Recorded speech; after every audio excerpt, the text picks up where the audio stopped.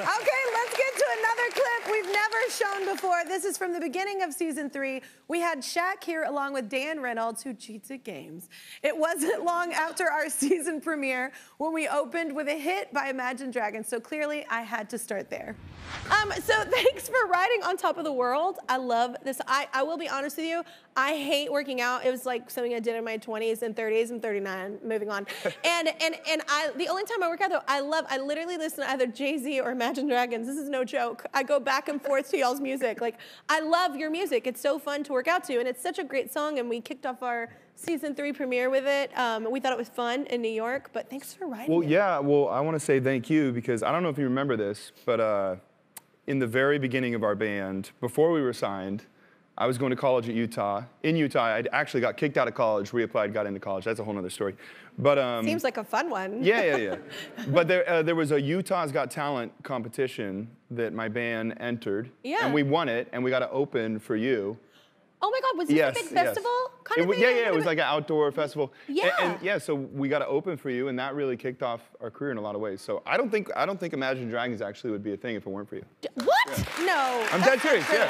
I'm That is serious. not true. But do you want to know what I remember from that show? And I'm not sure if Jason or some of my band will remember this. This is a real story from that show. We were in Utah. Right.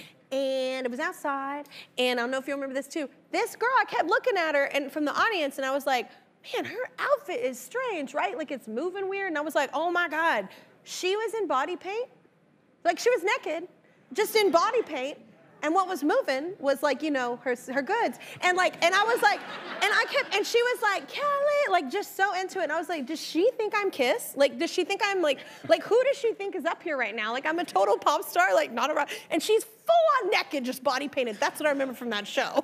That was, that, that was me. I didn't was see me. That was me. No, it was a girl. That I'm was me. sure. I'm like completely sure it was a girl. I was like, why is her outfit moving weird? Those are her boobs. What? And I was like, what? It was a weird. I was like, are you allowed to do this in Utah? Utah's a fun place. Um, I was like, it's very free. Um, anyway, it was a fun show. That show. Um, there's no segue, Dan, for that. Um, is it true that your daughter um, talked you into doing career day at her school?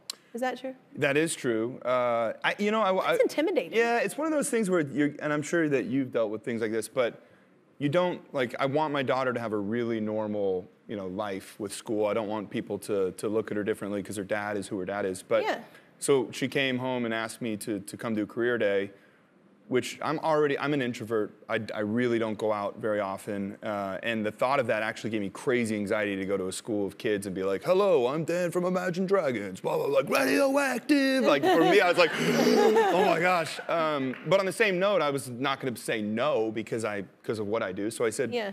I thought about it and I said, yeah, yeah, I'll come do this. And, uh, and when I went and met the kids, it was really cool because ki- kids love Imagine Dragons. They come to all, like shows of Imagine Dragons really range. It's like family affairs. Yeah. Um, so I went, and of course, like the first question was like, "Can you sing this song a cappella?" And it was, which is like everything I hate to do. But th- so it's the kids, so I did it. You're having a full-on panic attack. I, I really was. I really was. Oh but uh, but after me was the, a guy walked in from NASA, and so all the kids were like, "Pfft, "Who cares? Get out of here, Imagine Dragons guy." He's he's gone. yeah, he rocket ships. So I was like, "Okay, this worked out. It cool."